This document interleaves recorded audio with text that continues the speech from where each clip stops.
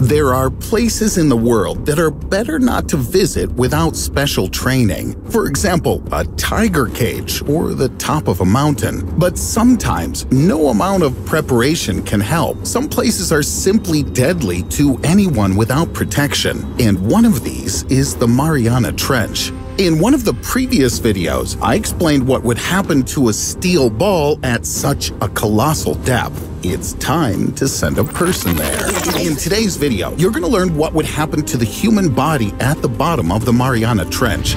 I'm going to show you how serious and irreversible the damage would be, and how many seconds a person could spend at the deepest point before it would be life-threatening.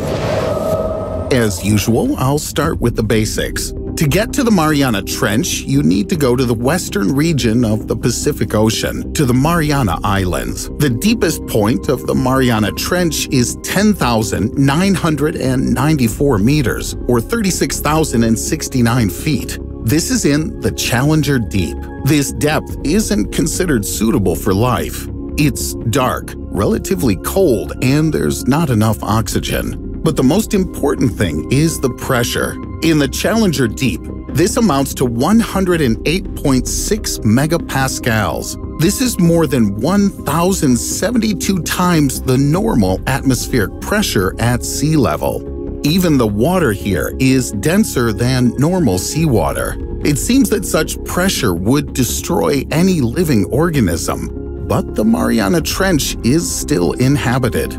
There are polychaete worms, some mollusks, deep sea fish, sea cucumbers, and smaller life forms. Not a single fish that dwells at shallower depths or any other underwater creature would survive if it suddenly found itself in the Challenger Deep. But what if you put a person there? Of course, people have already descended to this depth on various underwater vehicles. In fact, director James Cameron did it alone. But what about diving without the protection of the bathyscaphs? Would it be possible to just open the hatch and go outside once the machine reached the bottom of the Mariana Trench? The answer is pretty obvious. No. To exit the bathyscaph into the depths, you'd need to open the entrance hatch but the immense pressure would prevent you from doing so, even if you put all your strength into it. To achieve this, you'd need to equalize the pressure. Carefully open the hatch to allow water to flow in. It's possible that the stream of water coming through the gap would simply cut you in half. After some time, the pressure inside and outside would become equal. The hatch would open, but for you, it wouldn't matter. In general, taking one step and being at a depth of 11 kilometers or 7 miles isn't possible. So, you'd have to use your imagination. Let's say that humanity had already invented teleportation and was actively using it. So actively that it would maybe even send some madman to the Mariana Trench. The pressure inside the person and the pressure outside when they reach this depth would be too different. The pressure difference would lead to flattening. For example, if you boil a little water in an aluminum jar and then put it in cold liquid, the jar shrinks dramatically. This is due to external pressure. A similar fate would await the human body. No modern diving suit would help. But the compression wouldn't occur instantly. It would all depend on the amount of time you spent at that depth. Let's say the trip lasted only a nanosecond, or one billionth of a second. Then you were immediately returned to the surface. It may seem that such rapid movement wouldn't be felt at all. You wouldn't even have time to blink. Most likely that's true, except for a slight tingling sensation. Where would that come from?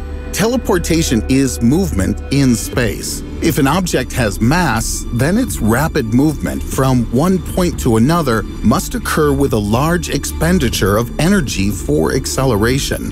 But a nanosecond is a very small amount of time. Pressure wouldn't play a special role here.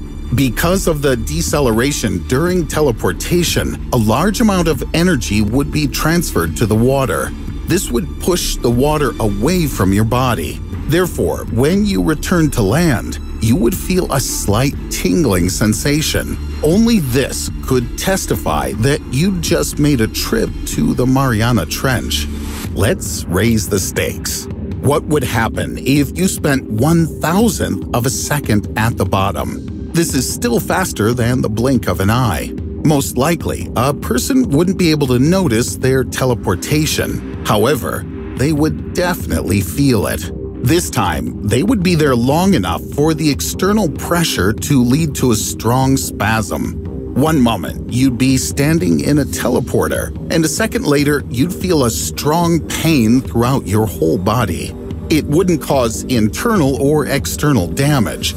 The body wouldn't be deformed. You'd be alive. Even longer, one hundredth of a second at the bottom of the Mariana Trench.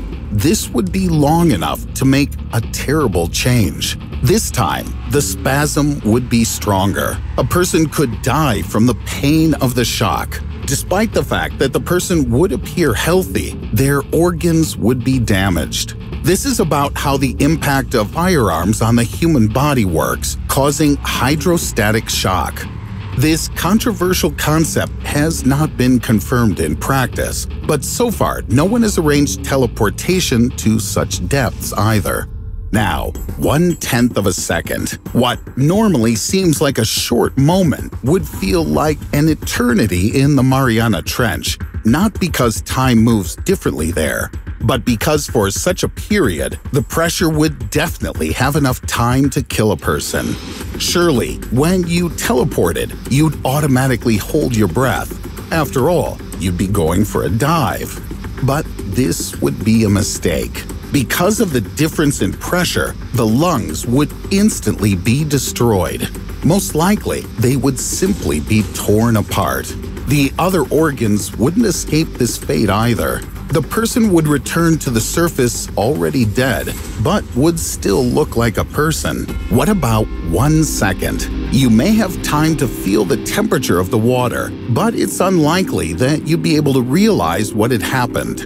This would be enough time for the Mariana Trench to literally crush a person completely. After 30 seconds at the bottom, the body would not only be damaged, but also have time to fill up with water. The enormous pressure would force water inside. All of the blood vessels would have burst by then, and the skin color would be pinkish. The person would look like a doll made of meat and bones, or a character from a horror movie. It's unlikely that anyone would be happy with such a finale. After 30 seconds at the bottom, a person could not be returned to the surface.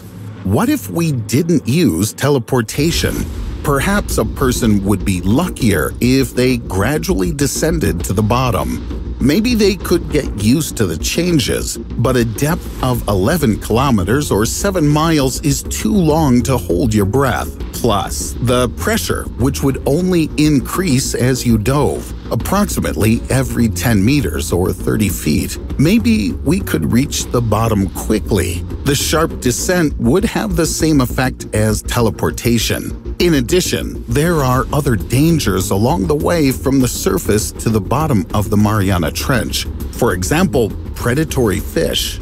Now, let's return to the inhabitants of the Mariana Trench of whom I spoke at the beginning. How are they still alive? These organisms, as a rule, don't have rigid bone support, and this characteristic saves their lives pressure in the Mariana Trench turns glass and wood to powder, whereas on the surface, the same creatures can turn into jelly.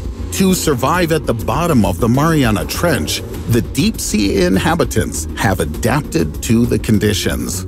Most likely, this occurred simultaneously with the movement of the lithospheric plates. As the trench became deeper, all of the ancestors of sea cucumbers adapted. Those that didn't simply died out.